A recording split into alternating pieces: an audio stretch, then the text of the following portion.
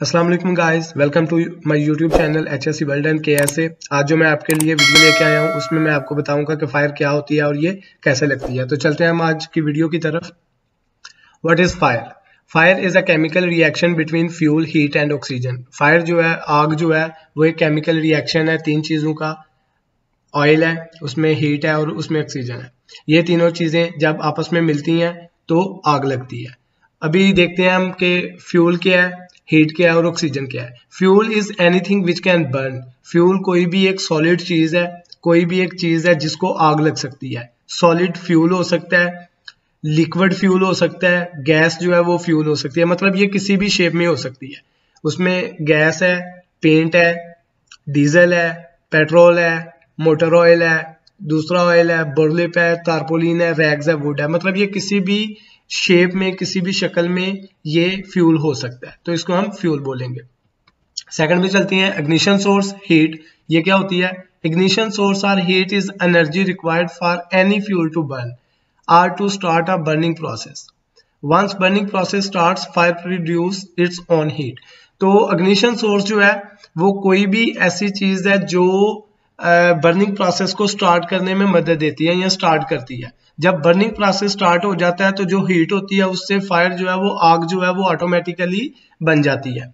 Ignition source includes flames sparks hot surface electricity static charge तो ignition source में क्या है? फ्लेम्स है ओपन फ्लेम्स होते हैं, उससे आग लग सकती है। स्मोक अगर करते हैं, वो बहुत ज़्यादा चांसेस बनते हैं आग लगने के। वेल्डिंग कटिंग कर रहे हैं, उसमें स्पार्क्स निकलते हैं अगर कोई उससे आग लगने के स्टैटिक चार्ज इलेक्ट्रिसिटी से आग लग सकती है आर्किंग से आग लग सकती है मैकेनिकल स्पार्क अगर कोई होता है तो उससे आग लग सकती है। तो ये सारी चीज़ें जो है वो इग्निशन सोर्स के अंदर काउंट होती है।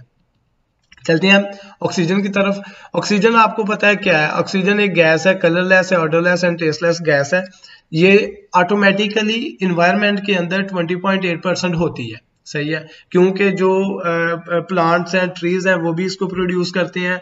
जो अपना फैक्ट्री वगैरह इंडस्ट्री वगैरह उधर से भी ऑक्सीजन प्रोड्यूस हो सकती है। तो ऑक्सीजन ऑटोमेटिकली इन्वायरमेंट के अंदर मौजूद होती है। उसके बाद फाइव ट्राइंगल होता है। एक fire triangle illustrates the three elements fire needs to ignite fire element जो फायर ट्राइंगल जो है, वो वजाहत करता है कि कौन से तीन एलिमेंट होते हैं, जिनको, जब वो तीनों एलिमेंट इकट्ठे होते हैं तो आग लगती है। उसमें क्या है? हीट है फ्यूल है और ऑक्सीजन है। आप ट्राइंगल देख रहे हैं, इसमें हीट फ्यूल और ऑक्सीजन जब इनको एक कम्बिनेशन मिलता है तीनों चीज़ों को जब एक खास कॉम्बिनेशन मिलता है तो उस वक्त जाके आग जो है वो स्टार्ट हो जाती है।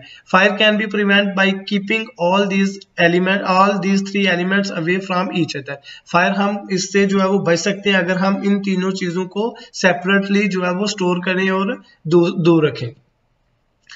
Fire triangle fire can be extinguish by removing any one of the element in the fire triangle ये जो फायर ट्राइंगल है, अगर हम इन तीनों में से किसी एक चीज़ को रिमूव कर देते हैं तो हम आग को इजीली जो है वो कंट्रोल कर सकते हैं और उसको बुझा सकते हैं। तो हम देखते हैं कि कौन से तीन प्रोसेस है। Removal of heat is called cooling first जो है वो कूलिंग है। अगर हीट हम उधर से रिमूव कर देंगे तो आग बुझ जाएगी। तो उस हीट को हम कैसे कंट्रोल कर सकते हैं? कैसे हम उसको खत्म कर सकते हैं? हम हम उसको कूल करेंगे। कूल करने के हम लिए हम उसमें पानी वगैरह डाल सकते हैं।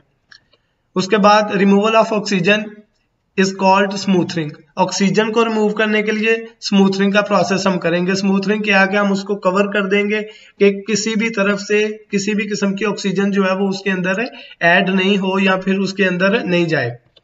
बाद में प्रोसेस आता है removal of fuel in is called starvation starvation जो है कि मतलब उसको बंद कर देना, उसको अलहदा कर देना। सही है? मतलब जैसे ये स्टोव भी चल रहा है तो गैस जा रही है। तो जब आग लगी है तो स्टोव स्टोव को मैं बंद कर दूँगा, गैस की सप्लाई बंद हो जाएगी। मतलब जो चीज़ जल रही है कंबस्टिबल गैस जल रही है। अभी मैंने इसको बंद कर दिया कंबस्टिबल गैस उधर जाना ही बंद हो गई है तो आग कैसे लगेगी?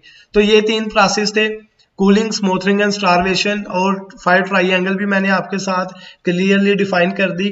उम्मीद है कि आपको हमारी ये वीडियो पसंद आई होगी। अगर वीडियो पसंद आई है तो हमारे चैनल को लाइक कर दें सब्सक्राइब कर दें, साथ में बेल आइकान को प्रेस कर दें ताकि हर नई आने वाली वीडियो आप तक बसानी पहुँच सके। अगर इस वीडियो के रिलेटेड आपके पास कोई क्वेश्चन है आंसर है, आपने पूछना है तो आप कमेंट सेक्शन में जाके पूछ सकते